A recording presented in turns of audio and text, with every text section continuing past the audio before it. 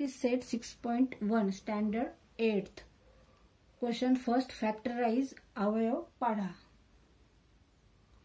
X square plus nine X plus eighteen X वर्ग अधिक नऊ एक्स अधिक अठरा.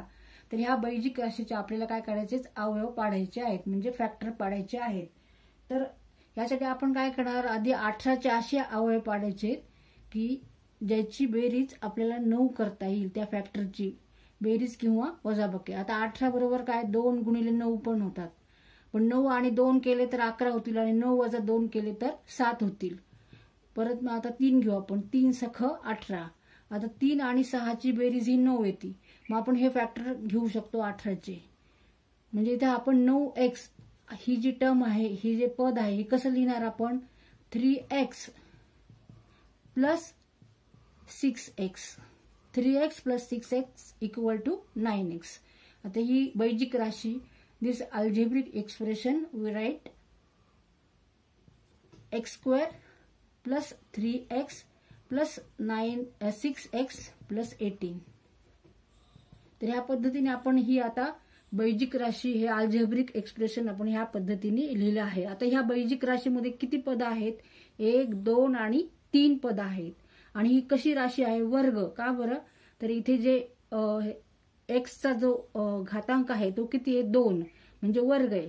म्हणून जास्त सर्वात मोठा घातांक किती आहे? दोन आहे. ह्या एक्सचा घातांक एक आहे. म्हणून अशा राशीला काय म्हणतात? वर्ग राशी. आणि त्रिपदी का बरं आहे? तर ह्या तीन पद आहेत. एक दोन आणि तीन. तीन पद आहेत. म्हणजेच कॉड्रॅटिक ट्रायनॉमियल या अल्जेब्रिक एक्सप्रेशनला काय म्हणतात? कॉड्रॅटिक ट्रायनॉमियल आता इथे आपल्याला एक्स हा वर कंसाच्या बाहेर घेता येईल आणि कंसामध्ये राहतील एक्स अधिक तीन इथे ह्या दोन्हीमधून आपल्याला सहा कंसाच्या बाहेर घेता येतील. मग कंसात राहतील एक्स अधिक तीन. आता हा कंस आणि हा कंस कसा आहे? सारखा आहे कॉमन आहे सामायिक आहे कारण दोन्हीकडे तो आहे.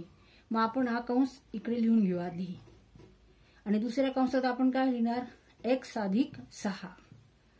म्हणजे ह्या कंसांनी एक्सला गुंडलं आणि ह्या कंसाने सहाला गुंड ह्याचा अर्थ होतो. म्हणजेच ह्या राशीचे काय अवयव पाडलेत आपण? एक्स अधिक तीन आणि दुसऱ्या कंसात एक्स अधिक सहा. त्या दोन्हींचा जर गुणाकार केला मल्टिप्लिकेशन केलं तर ते किती यायला पाहिजे? X square plus nine X plus eighteen हे या दोन्हींचं मल्टिप्लिकेशन यायला पाहिजे. तर आपण इथे व्हेरिफिकेशन करू टाळा करू आपण. X plus three into X plus six त्याला आपल्याला मल्टिप्लिकेशन करायचं एक्सनी आधी एक्सला मल्टिप्लाय करायचंय नंतर एक्सनी सिक्सला करायचंय. म्हणजे X square plus six X नंतर थ्रीनी थ्रीनी एक्सला मल्टिप्लाय करायचंय आणि थ्रीनी सिक्सला मल्टिप्लाय करायचंय. Three X plus three into six eighteen म्हणजेच X square plus nine X plus eighteen म्हणजे आपण जे उत्तर काढले ते कसं आहे? बरोबर आहे. हे आपण आता इथे हाताळा करून हे चेक केलेलं आहे.